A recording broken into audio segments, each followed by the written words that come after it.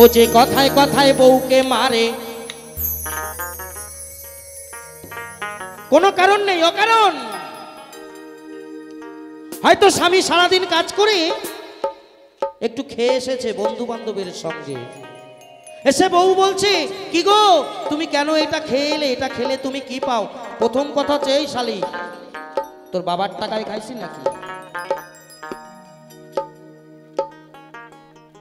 আমরা টিভিতে যখন প্রোগ্রাম দেখি, সবার আগে লেখা থাকে, ধূমপান, মদ্যপান স্বাস্থ্যের পক্ষে ক্ষতিকারক। প্রত্যেকটা ঘরের বউ চায়, আমার স্বামী ভালো থাকুক। কিন্তু সেই স্বামী যদি ভালো না থাকে, বউ যদি শাসন করতে যায় তাহলে বউ খায় কি? মাই তাদের জন্য এই গানটি। ও যে কথায় কথায় বউকে মারে, ওরে বাপ মা তুলে গালি ছাড়ে, সে যে কাপুরুষ স্বামী বলা যাবে না তারে। সে যে অমানুষ। এখানে নেই। এখানে কেউ ওইসব খাই না। আমি এই যে দুদিন ধরে রয়েছি, কাউকে দেখলামই না এসব খেতে। কারোর মুখে একটু গন্ধ পাইলাম না। খুব ভালো খুব ভালো। আমরা তো খাই না কি? ও জীবনে দেখি নাই কেমন। আর এখানেও কাউকে পেলাম না। যদি কাউকে পেতাম না টেস্ট করে দেখতাম। একজনকেও পেলাম না যে একটু খায় আর কি। খুব ভালো খুব ভালো।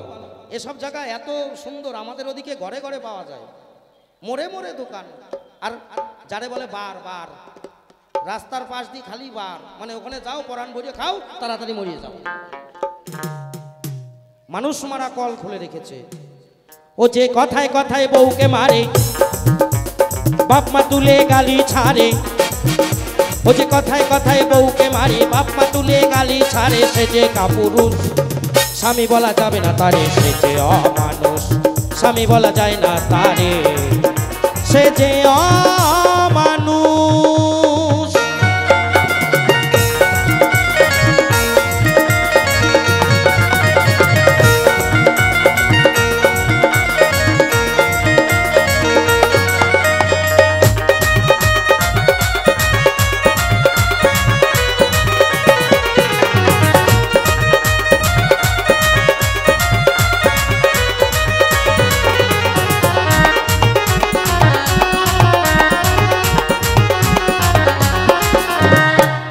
মাতা পিতা স্বজন রেখে নারী যায় পরের ঘরে। শেষে মানি সম্মান, জীবন, যৌবন। সপে দেয় স্বামীর তরে।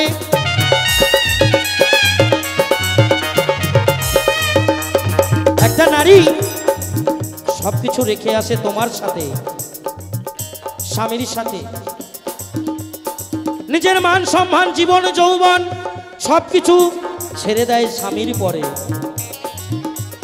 যখন কোনো বাবা মেয়ের বিয়ে দেয়, একটা সুন্দর জামাই দেখে দেয়, আমার মেয়েটা যেন সুখে থাকে।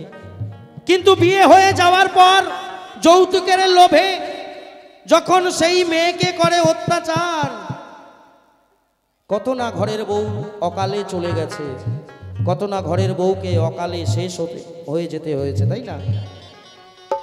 তাই পদকর্তা বলেছেন, মাতা পিতা স্বজন রেখে নারী যায় পরের ঘরে। শেষে মানে সম্মান জীবন যৌবন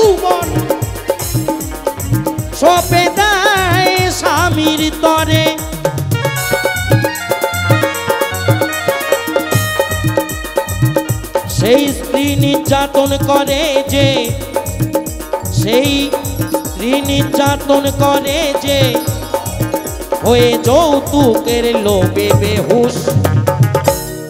মাঝে মাঝে খালি কয় তোর বাবার কাছে কয়টা টাকা নিয়ে আয়, যা। আর বউ বলে কি, আমার বাবার কাছে আর চাইতে পারব না কেন? আমার বাবার আর নেই, যা ছিল কুড়ি বছর ধরে বাবা যা জমিয়েছে সবই আমার বিয়ের সময় তোমাকে দিয়ে দিয়েছে। আমার বাবার খাওয়া জোটে না এখন। আমি আর আনতে পারব না। কি? যেই না টাকা আনতে পারব না কয়? সেই যে দাদা, কি কাজ? সেই স্ত্রী নির্যাতন করে যে হয়ে যৌতুকের লোভে বেহুশ। স্বামী বলা যাবে না তারে সে যে অমানুষ।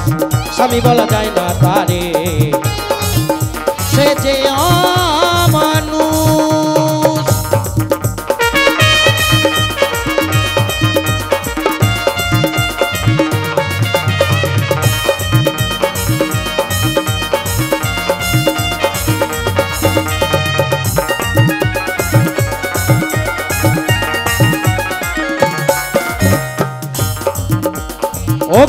নারায়ণকে সাক্ষী।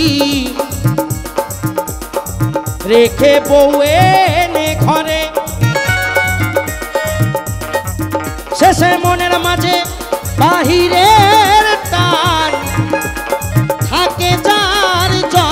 ভরে।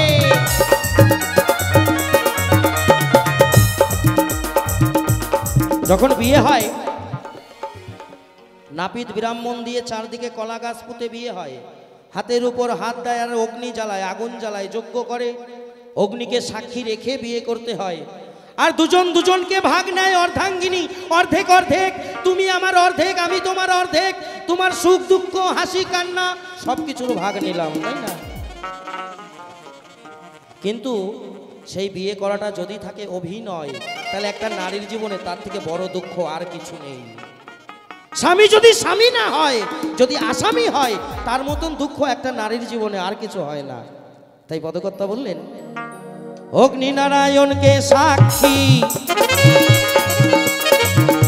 রেখে বউয়ে নে ঘরে। আবার মনের মাঝে বাহিরের টান। থাকে যার জনম ভরে। আবার পর নারীর প্রেমে পড়ে, পর নারীর প্রেমে পড়ে, নিজের স্ত্রী ত্যাগ করে যে পৌরুষ। একটা ডিভোর্স বলে কথা আছে ডিভোর্স অর্থাৎ গন্ডগোল, অশান্তি হবে, কোর্টে যাওয়া, দুজনকে ছাড়াছাড়ি করে দেবে ডিভোর্স কখন হয়?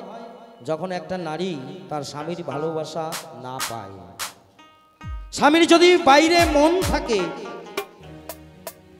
তাহলে কি হবে? সে বউ থাকবে? বউ থাকবে না। তাদের ডিভোর্স হয়ে যাবে। তাই পদকর্তা বললেন, আবার পর নারীর প্রেমে পড়ে পর নারীর প্রেমে পড়ে সীতা করে যে পুরুষ। স্বামী বলা যাবে না তারে সে যে অমানুষ। স্বামী বলা যায় না তারে সে যে অমানুষ। ও যে কথায় কথায় বউকে মারে, ওই বাপ্পা তুলে গালি ছাড়ে। কথায় কথায় বউকে মারে বাপমা তুলে গালি ছাড়ে, সে যে কাপুরুষ। স্বামী বলা যাবে না তারে সে যে অমানুষ। স্বামী বলা যায় না তারে সে যে অমানুষ। স্বামী বলা যাবে না তারে সে যে অমানুষ। স্বামী বলা যায় না তারে সে যে অমানুষ। হাততালি গেল কোথায়?